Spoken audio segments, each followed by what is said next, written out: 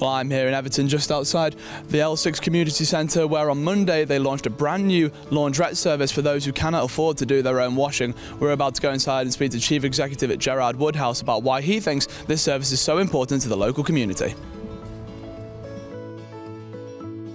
Yeah, we, we came up with the idea of the wash house because of a lot of children being bullied in the area because of them smelling. And when we spoke to parents and that, although they had washing machines, they couldn't afford to use them. So this was an idea I had. Um, and then we hit a lot of brick walls. Um, we had to get new electricity through the building um, and, and also plugs, etc. Gonna cost us a bomb. So it looked as if the idea was off. And I met with Barbara Spicer from Plus Dane um, and she sent her workers in and SP Electrics waived the fee and done it for us.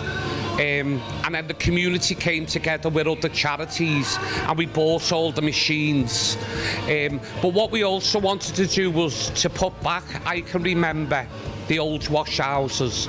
So we, we, you know, we, we also went out and we got the old maidens, the old boiler, um, the old times, and we were here of a night with the children discussing what it was like years ago to do the washing.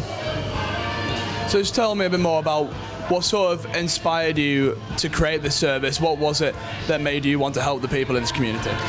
Well, we run a food bank, um, and last year alone at the food bank, we fed 48,000 people. But we don't just help people with a few cans, we help them with proper meals.